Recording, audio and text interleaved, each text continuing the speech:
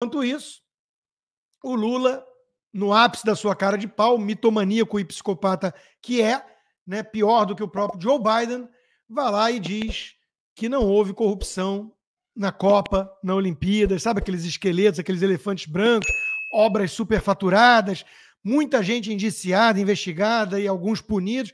Nada disso aconteceu, mas o Dirceu já se sente à vontade de dizer que o mensalão foi a primeira grande fake news do Brasil. Eles estão tentando editar a verdade, como diria Toffoli, o advogado deles. Né? Então, veja aqui, asqueroso, e eu peço vênia por colocar esse vagabundo na tela numa sexta-feira para vocês terem que ouvir a voz que eu não suporto mais, mas temos que fazer os ossos do ofício. Eu lembro da quantidade de denúncia de corrupção na Copa do Mundo.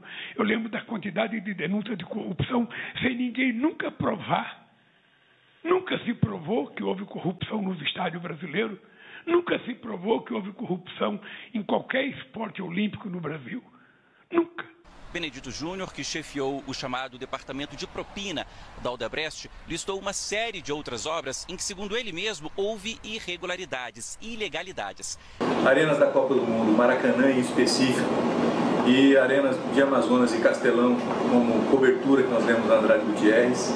O ex-governador do Distrito Federal, Agnello Queiroz, e o ex-vice, Tadeu Filipelli, foram condenados por desvios de recursos na reforma do estádio Mané Garrincha, em Brasília. Na sentença, o juiz da sétima vara da Fazenda Pública explicou que ficou comprovado que Agnello e Filipelli receberam propina da construtora Via Engenharia, responsável pela obra para facilitar o repasse de dinheiro público para a reforma do estádio para a Copa do Mundo de 2014.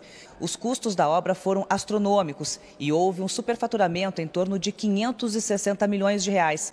A Justiça Federal Criminal do Rio de Janeiro condenou o ex-presidente do Comitê Olímpico Brasileiro, Carlos Arthur Nussmann, o ex-governador Sérgio Cabral, a penas de prisão por fraudes na compra de votos dos integrantes do Comitê Olímpico Internacional para a escolha do Rio de Janeiro como sede da Olimpíada de 2016. Vocês lembram da felicidade do Lula, do Cabral, do Paz, quando o Brasil foi escolhido, né?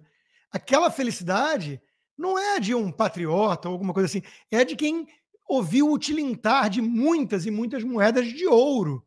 E por falar nele, o capo, o Sérgio Cabral, condenado a mais de 400 anos de prisão, que confessou o vício pela ladroagem, eu vou mostrar um vídeo agora para você ver como todo mundo tem um coração bate um coração em todo ser humano, mesmo quando é um ladrão safado. Mesmo quando rouba por vício muito, muito dinheiro. E eu digo uma coisa para vocês: se vocês não se emocionarem com esse vídeo, é porque vocês já estão mortos por dentro. É um vídeo tocante, comovente.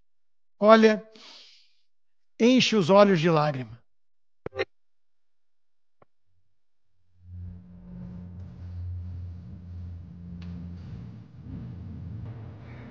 Essa música, né? Música lembra, música lembra momentos, né?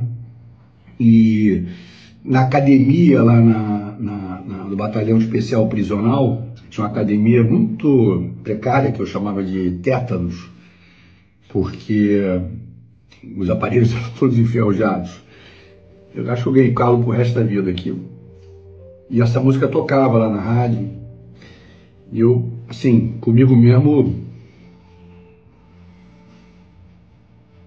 dançava sozinho.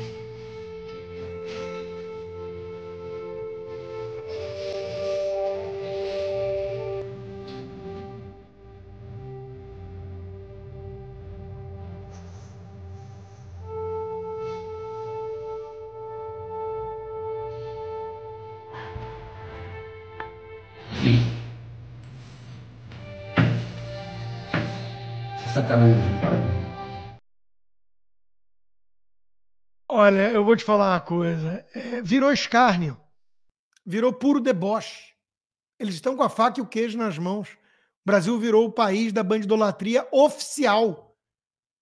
Esse sujeito, cara de pau, cínico, tá livre, leve e solto. Gravando esses videozinhos. Eu tô sob censura no Brasil. Com meu passaporte cancelado. Ainda bem que eu tenho outro, né? Com as contas bancárias com meses de ganhos acumulados congelada. É, é, muito triste o Brasil, realmente. Aí algumas pessoas falam: ah, não fica atacando tanto. Eu sou um analista sincero.